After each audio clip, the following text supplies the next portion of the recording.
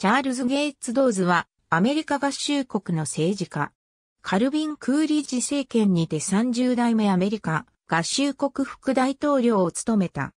1865年8月27日にオハイオ州ワシントン郡マリエッタに誕生した。1884年にマリエッタ大学を卒業し、その後1886年にシンシナティ法律学校を卒業した。同年に放送会入りし、ネブラスカ州リンカーンで1887年から1894まで弁護士業を行った。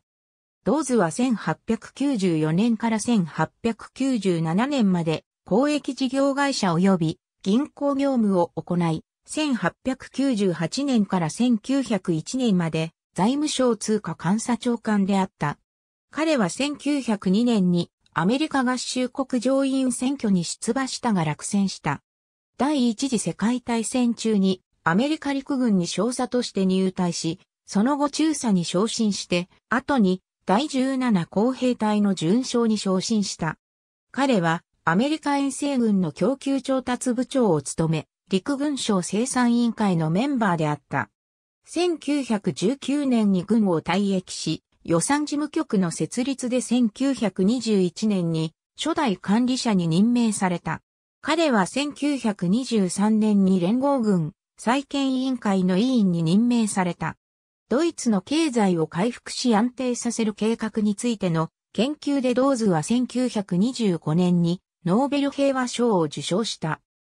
1924年、アメリカ合衆国大統領選挙で共和党候補としてカルビン・クーリッチ大統領と共に1924年11月5日に副大統領に選出され、1925年3月4日から1929年3月3日まで同職を務めた。